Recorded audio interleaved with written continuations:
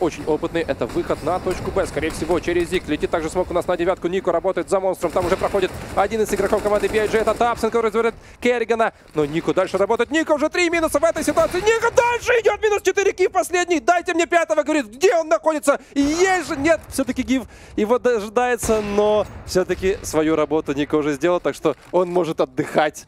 3 в 1 кив. Да уж. Жестко Ника поработал. Да Жаль, что мы не